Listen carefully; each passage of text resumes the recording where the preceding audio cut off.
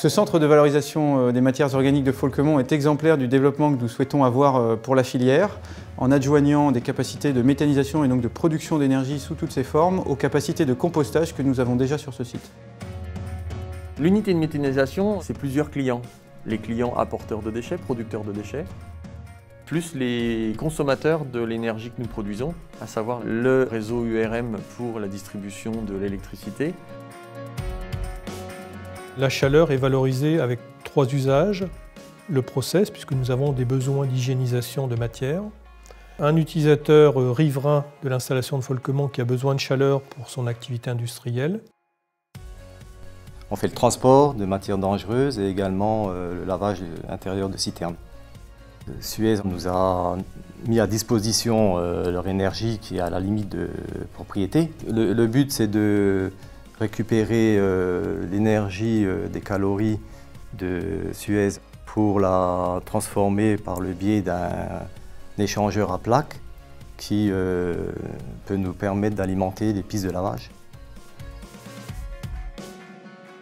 Nous avons proposé également de développer l'utilisation de chaleur dans le séchage de biomasse.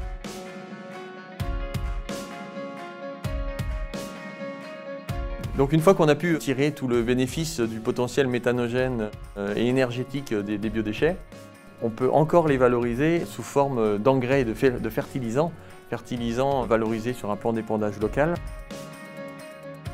Le, digesta est un produit euh, intéressant parce qu'il euh, participe aussi à l'activité biologique du sol.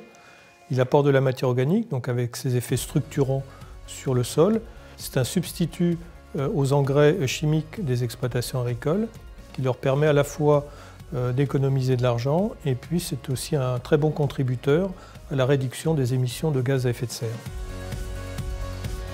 Ce projet est exemplaire de ce que nous essayons de trouver des solutions locales, multifilières, compostage, méthanisation, productrices d'énergie, pour créer des boucles vertueuses pour l'ensemble de ces acteurs et en répondant euh, au challenge de la production de ressources renouvelables. Nous avons gagné une simplification en termes de schéma logistique et nous avons également bah, baissé de manière significative nos coûts de valorisation. La valorisation de nos goûts permet en fait de développer la filière locale. On peut être que satisfait que justement hein, euh, cette réalisation eh vienne s'inscrire euh, dans cette dynamique locale.